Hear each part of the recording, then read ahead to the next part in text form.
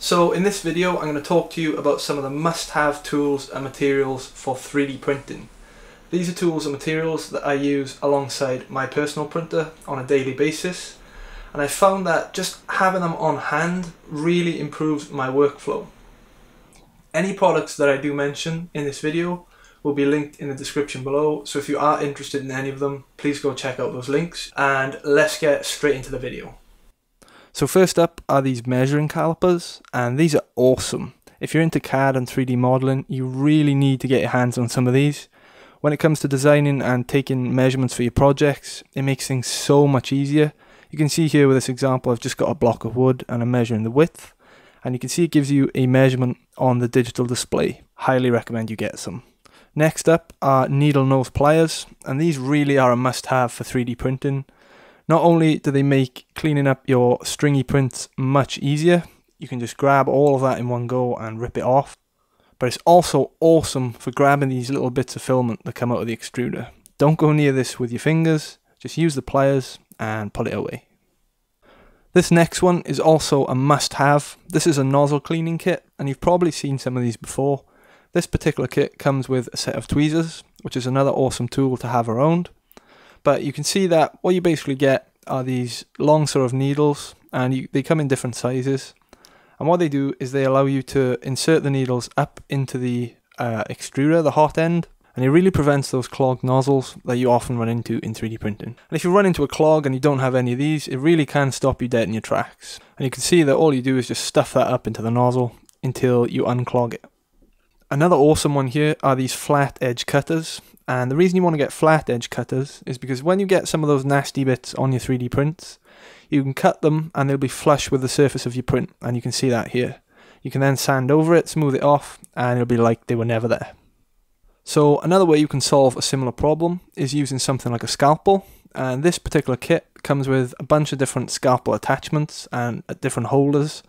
And what you can do, again, is just use this, but rather than snip away at those nasty little bits, you can just uh, kind of cut them off. And I like using this, it tends to be better to reach those sort of hard to reach places on a print.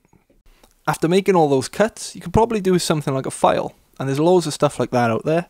And what you can do is basically just remove any of those rough edges that may still be there after you made those cuts on your print. And I use these all the time, they're really great.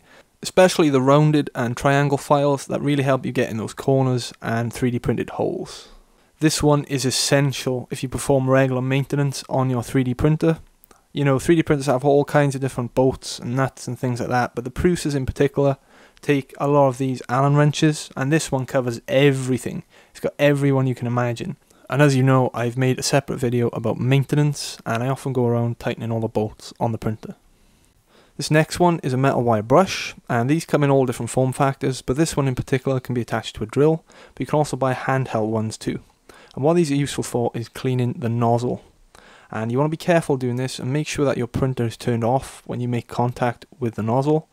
And be extra cautious if you're like me and you're using a drill to do it. And you can see that doing this achieves some pretty good results. Another material really worth having around is wet and dry sandpaper. I use this all the time with my 3D prints.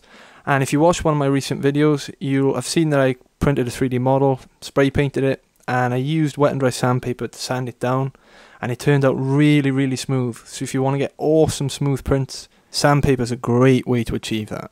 After doing all that sanding a great way to clear up a lot of that dust is just using a simple paintbrush. These are really cheap you can buy them in packs and super simple you just wipe it off. But it's really really neat and awesome to have around another great one to have around for patching up 3d prints is polyfiller and you can basically just use this to fill in any holes or gaps in your 3d prints a great example I've got here is the underside of this 3D print. There's a couple of holes and gaps in it. So what you can do is just grab a bit of polyfiller, apply it on, and once you've applied it all, you can smooth it off with a piece of cardboard or a card or something like that. Let it dry, then you can sandpaper the whole thing, sand it down, and that'll leave you with a super smooth surface that you can paint. If you want to take your 3D print to the next level, some great things to have around are spray paints. This is a satin white paint, and this one here is a clear seal gloss. Uh, it's a matte gloss, which is really good for 3D prints.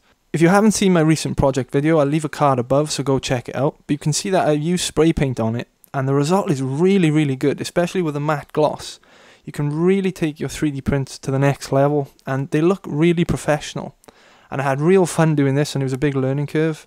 But if you're interested in a video on how you can spray paint your 3D prints, let me know in the comments and I'll go ahead and make that video. If you want to go that extra mile and add those finishing touches on your 3D prints, a really good type of paint to use is acrylic. And you can buy these acrylic sets on Amazon, they're super cheap.